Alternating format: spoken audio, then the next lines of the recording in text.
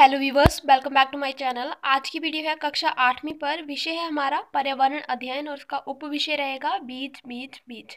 तो चलिए शुरू करते हैं आज का वीडियो सबसे पहले रहेगा सामान्य एवं विशिष्ट उद्देश्य। सामान्य उद्देश्य में जो हमारे सामान्य उद्देश्य हैं, जो विषय से संबंधित जो उद्देश्य हैं, वो रहेंगे, जैसे बच्चों में विषय वस्तुओं के प्रति रुचि उत्पन्न करना, उनमें तार्किक एवं बौद्धिक शक्ति का विकास करना, या फिर बच्चों को विषय वस्तु संबंधी जानकारी देना। उसके बाद है विशिष्ट उद्देश्य।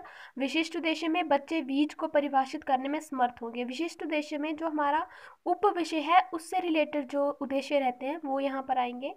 तो उसके बाद आएगा अभिप्रेरणा। अभिप्रेरणा में बच्चों को लेसन से रिलेटेड कुछ एक बातें बताएँगे, जिससे बच्चे लेसन को पढ़ने के लिए मोटिवेट हों। जैसे इसमें हमने बीज से रिलेटेड बच्चे को कुछ एक बातें पहले ही बता दी ताकि बच्चा उसके, उसको और अच्छी तरह जानने के लिए उत्सुक हो। उसके बाद है विषय वस्तु का सरलीकरण। तो इसमें विषय वस्तु को सरल बनाने के लिए छात्राध्यापिका उन्हें बीज बीज बीज संबंधी जानकारी देगी। साथ ही शिक्षक, शिक्षण सहायक सामग्री का उपयोग करेगी, जैसे श्यामपट चाक, झाड़न संकेतक आदि। उसके बाद है पूर्व ज्ञान परीक्षण। तो पूर्व ज्ञान में बच्चे की प्रीवियस नॉलेज का टेस्ट करेंगे। जैसे आपने कौन कौन से पेड़ देखे हैं, पेड़ किसकी सहायता से पनपते हैं? तो बच्चे से प्रीवियस बच्चे की प्रीवियस नॉलेज का टेस्ट करेंगे। उसके बाद प्रस्तुतिकरण देंगे। जो भी लेसन है, उसे प्रस्तुत किया जाएगा। तो इस तरह से इस लेसन को प्रस्तुत किया जाएगा। आप यहाँ पर स्क्रीन ले सकते हैं। मैं इस पर फोकस कर देती हूँ।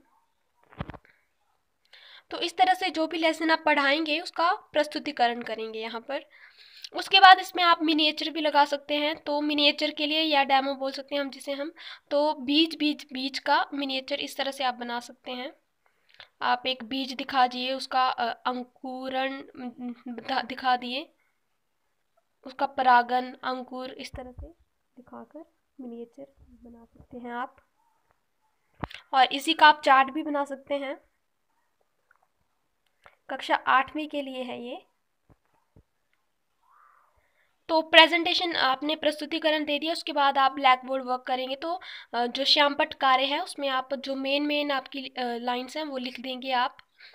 तो बीज बीज बीज सबसे पहले आप उप विषय का नाम लिखेंगे, उसके बाद जो मेन हेडिंग्स हैं वो लिख देंगे। उसके बाद है समूह निर्माण तथा समूहों को दिया गया कार्य। तो इसमें जो छात्र अध्यापिका है वो बच्चों के समूहों का निर्माण करेगी। बच्चों को दो ग्रुप्स में डिवाइड कर देगी, दो समूहों में डिवाइड करेगी और दोनों समूहों से कुछ एक प्रश्न पूछेगी, जो लेसन से जो रिलेटेड प्रश्न प्रश्न है वो पूछेगी। एक एक ग्रुप से दो दो प्रश्न यहाँ पर पूछे गए हैं।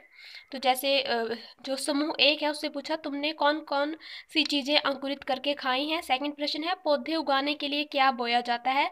समूह दो से आप दो प्रश्न पूछेंगे। गोपाल ने कितनी कटोरी चने भिगो दिए? माँ ने किसको अंकुरित चने देने के लिए कहा?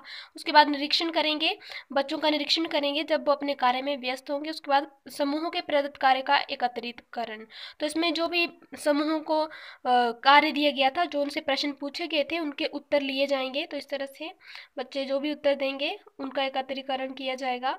उसके बाद लास्ट में है मूल्यांकन। तो मूल्यांकन सबसे लास्ट में किया जाएगा। जो भी बच्चों ने उत्तर दिए, उस आधार पर बच्चों का मूल्यांकन किया जाएगा कि बच्चों को विषय वस्तु की पूर्ण समझ विकसित हो गई है तो इस तरह से उनका मूल्यांकन किया जाएगा। उसके बाद है गृह कार्य। तो सबसे एंड में देंगे हम गृह कार्य। मूल्यांकन करने के बाद बच्चे को गृह कार्य दिया जाएगा। गृह कार्य में आप दो या तीन प्रश्न पूछ सकते हैं। या तीन से पाँच प्रश्न आप इस तरह से बच्चे से पूछ सकते हैं। तो ये रहा गृह कार्य। ब्लैक बोर्ड उसमें लिखेंगे आप इसको। तो छात्राध्यापिका छात्रों को निम्न गृह कार्य देगी। आज की वीडियो में बस इतना ही। धन्यवाद।